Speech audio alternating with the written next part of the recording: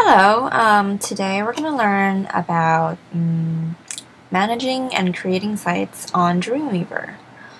Okay, right here I have a Dreamweaver open. Um, um, on the bottom where it says files, um, you're going to go to manage sites. And if this is not open, you want to go to window and then here it says files. So that's how you bring it up if it's, you know, closed by accident. Um, new site, and then um, give it a name. I'm just to name it OEMA because I haven't set this up yet. Okay, local root folder. I created a folder on the Macintosh hard drive. Um, hmm, it's right here actually. And it's in a folder named Sites and OEMA. So you know where your folder is and where you want to put all your files and everything. Just locate that.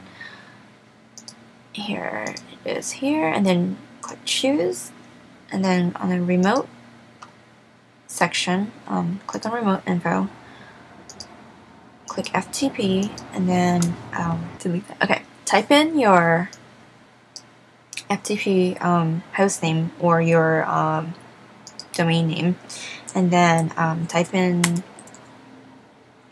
the folder that you wanted to put all your files in. This is the remote section, so just if you don't have a folder, you have to create one there first, and then you want to, you know, type that folder's name in there, and then username, password, click test. So it says uh, Dreamweaver connected to your to your web server successfully. Okay, that's done. Then we click on testing server. Under server model, click PHP, MySQL, and FTP. Everything's set. You can test it again if you want, but usually if the first one is right, then this is right.